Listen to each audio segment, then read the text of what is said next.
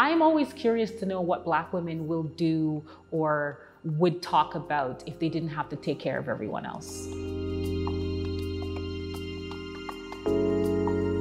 My name is Dainty Smith, and I'm a Toronto based storyteller. I'm an actor, I'm a playwright, and a burlesque performer. So, around 10 years ago, I founded a burlesque troupe called Les Femmes Fatales for Black women and femmes of color. When the coronavirus pandemic hit, I think I was shocked like everyone else.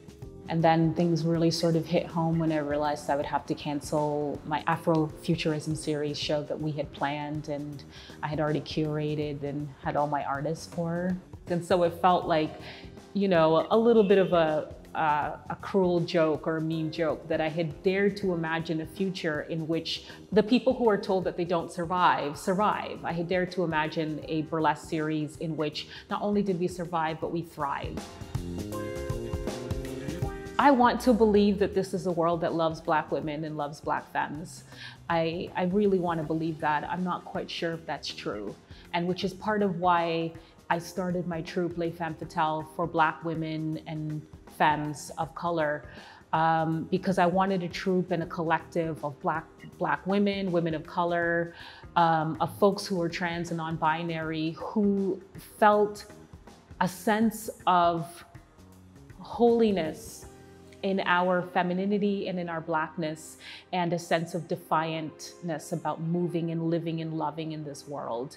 And I wanted burlesque and I wanted the politics of what desirability is and beauty is to look like me.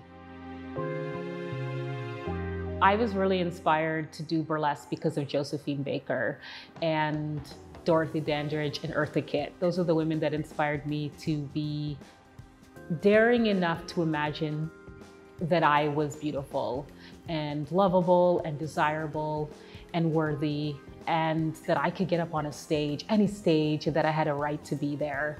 We forget how necessary it is to see yourself as someone who's beautiful. And I would remind people not to underestimate what burlesque is. On the one hand, it's a bunch of pretty girls and pretty femmes on a stage in pasties doing high kicks. On the other hand, it is so much deeper than that, and it always has been. At its core, it's rebellious and it's political, and we should never forget that.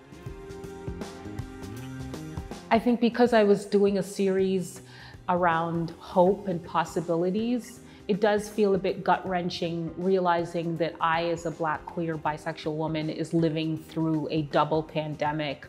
I'm living through a racial and a viral pandemic. This has been a year of reckoning. This is the year of revelations and it's the year of reckoning.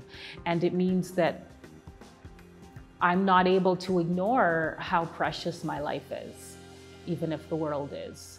And so I have to continue to make art. I have to continue to tell stories that center Black femness because now more than ever, it seems as though that is my life purpose.